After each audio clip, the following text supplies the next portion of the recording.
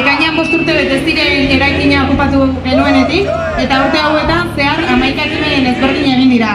Burruka honekin babestu nahi du kortxoenea eta horrelako proiektu autogestionatuak. Eta baita ere salatu horrelako proiektuekin talka egiten duten ereduak.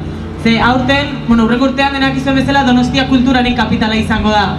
Aste honetan inauguratu da milaka euroko subentzia auki duen tabakalera.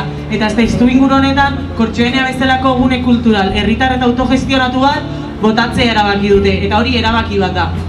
Horregatik, agerian jarri nahi dugu kapitalaren kultura, eta kapitali gabeko kulturaren arteko talka. Agerian jarri nahi dugu, zein den gizarte ereduen talka, bizi ereduen talka, hemen jokatzen ari dena.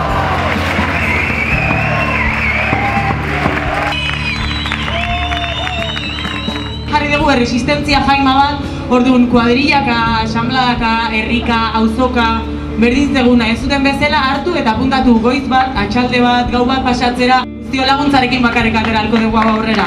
Egurra, kortxoenea baina asko gehiago dago jokoan.